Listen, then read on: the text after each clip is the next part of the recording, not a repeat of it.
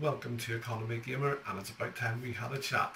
This video will help you take, uh, will take you through how to change your host file from your system 32 and how to save it correctly if you don't know how to save it correctly and getting the warning sign like the one to the right of me.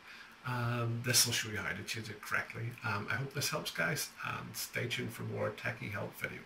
Let's get straight into it guys. Let's go to our local disk. We want to go into our Windows and then we want to go to our System32 file. Now in our System32 we want to go down to our drivers. From drivers you want to go to etc and go into hosts.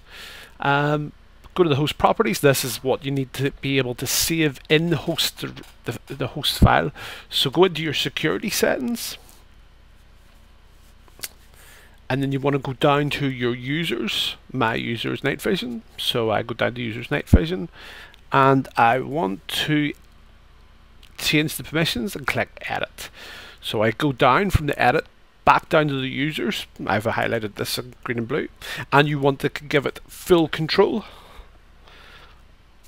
of thing. You're going to apply this and make sure the read and write are there. So apply say yes Make sure the reader writer all ticked. Go to OK. Double check.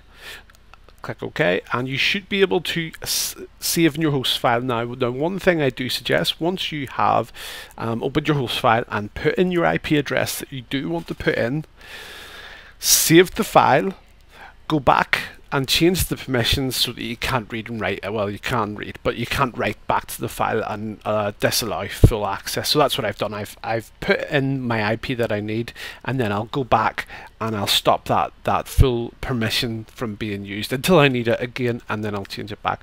But anyway, I hope this has helped, and over and out.